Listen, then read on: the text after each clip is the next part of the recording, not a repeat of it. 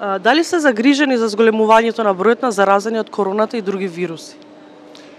Па да, секако сум загрижен, но мислам дека дека не е ставен токав голем акцент како во изминатиот период кога имаше корона и така да мислам дека тоа во јавноста не е толку а, акцептирано во овој период. Да ви кажам, короната сега што иде дека е блага форма.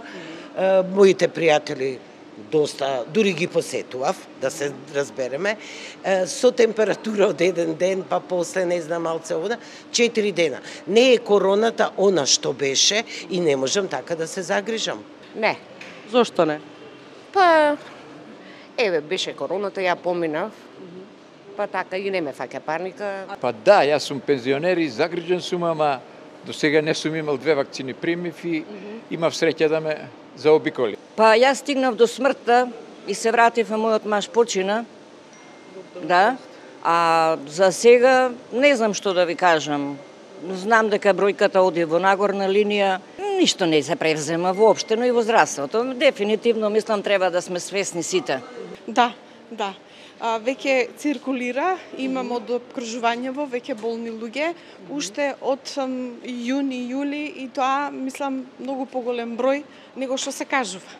Дали сте забележале зголемена употреба на маски во нашата околина? Не сум забележала што е Еве, ја нема маска, али мислам дека е паметно да се стави. За мене, бидејќи имам 65 години, сметајќи дека имам добра старосна да. граница, не е лошо да си става маска. Еве, излетав без маска. Сега за сега не, понатака може ли? Слабо. По некои така. Да, да, јас се чудев и отпосле сватив што се случува. Ама мене веќе не ми ни треба маска после такво преминување од едниот свет во другиот и назад. Мислите дека има некој нов бран? А, сигурно мора да има. Па има, има, да. Има некои, обично по старите хроничните болни. Дали сметате дека треба да има мерки за заштита? Па не знам колку е реалната ситуација со короната. Не ја знаеме вистината колку е процентот и така. Не, короната сега не е онаја што беше. Она беше језиво, ова сега веќе издржлива работа како некој би го нарекла грип.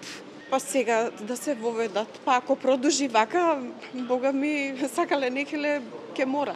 Ради тоа што веќе доаѓаат по поладни денови, децата тргнаа во училиште, така да мислам дека треба нешто да се превземе, меѓутоа треба да мислат.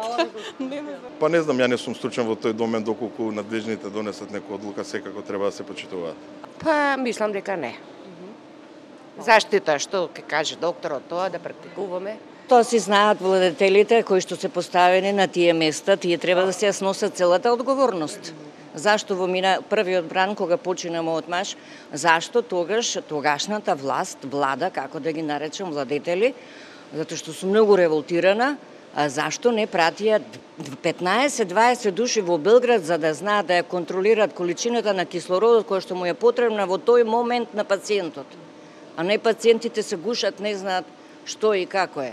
За конкретно на мене, значи беше поставено а, кислород да примам, ми носија, ми купија од дома, пошто знаеме... Приватно? Приватно. Не па добивте да. од државата? Не, не, не, државата тоа не го употребуваше и само една сестра знаеше да ми ја аплицира. Тоа е срамота. Тоа е срамота, ова во Скопје да се случува, кога да живееме не знам каде. Срамота е и јас, како медицинско лице, им дозволив на сите сестри, значи колку дози ми донесоа моите ми купија, толку дози сите да се учат. Сите дозволив. Зашто гледам дека може едниот ден ништо не ми, е. па и да умрев не беше ништо страшно. Јас не се плашам од смрт.